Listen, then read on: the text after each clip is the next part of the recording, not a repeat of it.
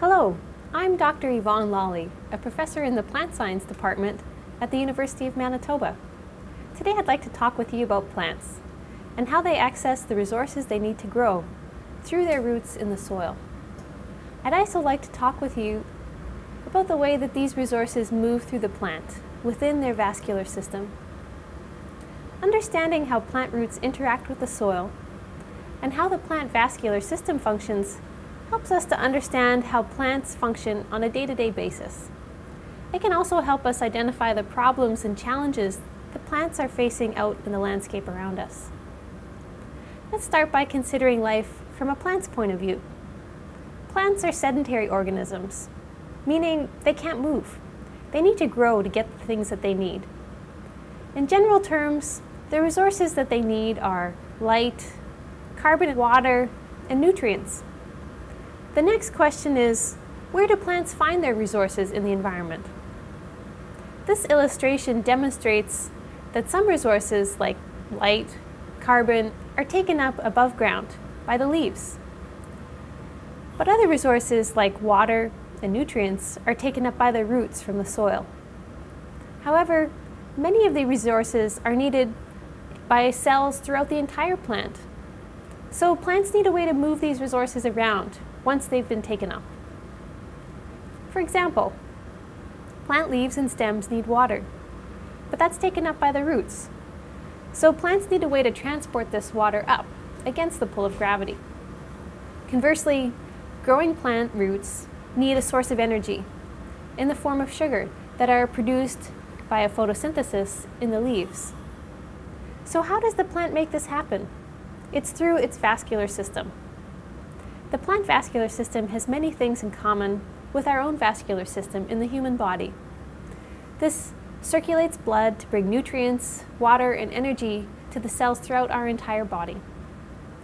The cells and tissues that make up the plant vascular system are present in all parts of the plant, from their roots to their shoots and in every leaf. It's a network that connects the entire plant. Let's think of the vascular plant system as a divided highway running throughout the entire plant. One lane of traffic is the xylem. That's used to move water from the roots up against gravity to the shoots of the plant. The second and opposing lane of traffic is the phloem tissue. It moves the energy in the form of sugars from the leaves where photosynthesis is happening to all the other parts of the plant where it's needed. Learning about the plant vascular system really teaches us how interconnected the above ground parts of the plant are that we see most of the time to its roots that are growing below ground that we rarely have a chance to see. Roots are very important and I'd like to tell you more about them.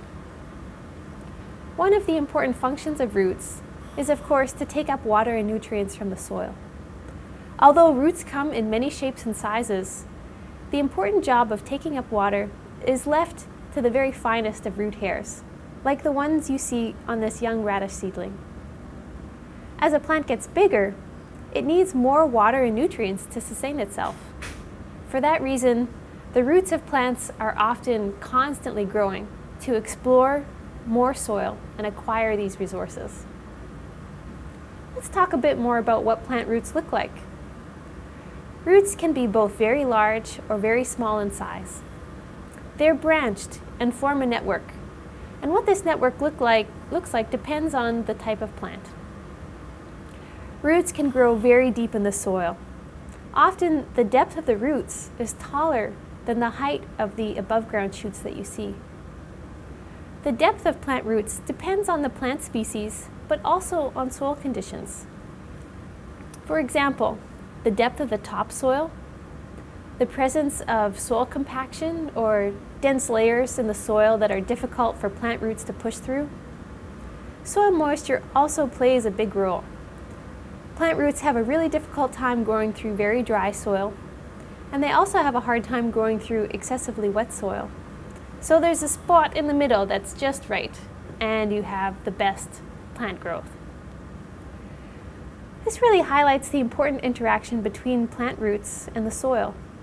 They can have a profound influence on each other. Just as soil fertility and soil moisture conditions influence the ability of plants to grow, plants also make a positive contribution to the development and formation of the soil as its own natural body. For example, plant roots stabilize the soil to prevent soil erosion.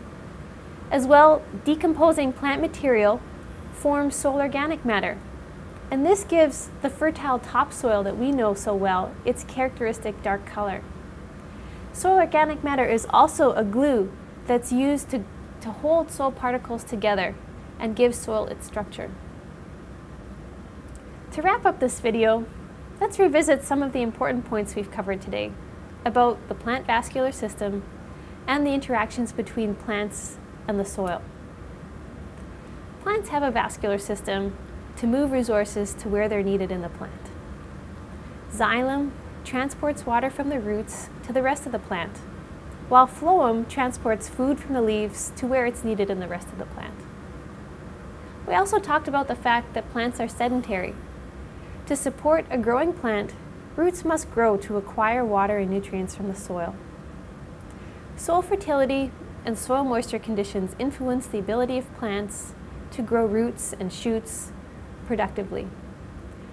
However, plants also make an important contribution to the development and formation of soil.